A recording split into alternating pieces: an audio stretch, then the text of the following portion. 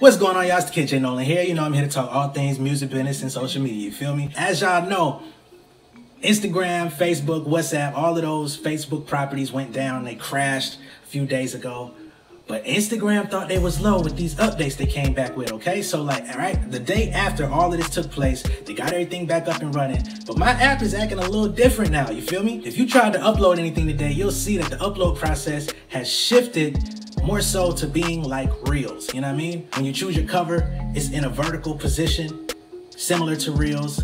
You can add your content to series of episodes, just like with IGTV, which is also very similar to Reels. Hashtags are becoming a lot less prevalent in the platform. When I tried to put a draft up earlier and I started putting my hashtags in on there, I noticed that uh, they stopped trying to auto correct and auto finish or suggest specific hashtags. Normally when you type out about half a word, they give you suggestions. I didn't see nothing. So that made me go and look on my explore page and I type in a hashtag and all I'm seeing is names. So you gotta take like two, three extra steps now just to access the hashtags. It wasn't like this two, three days ago, at least not for me.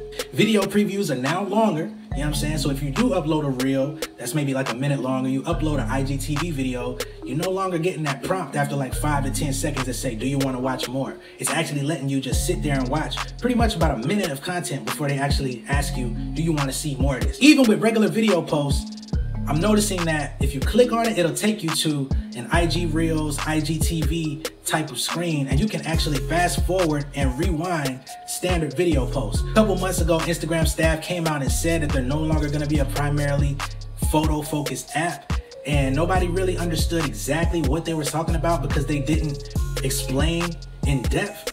But this rollout that they got going on kind of lets you know that this is the TikTokification of Instagram. It's already been there when they created Reels. They already took Snapchat with stories, but now they're like, you know what? We tired of swerving in y'all lane. We really trying to get y'all about the paint.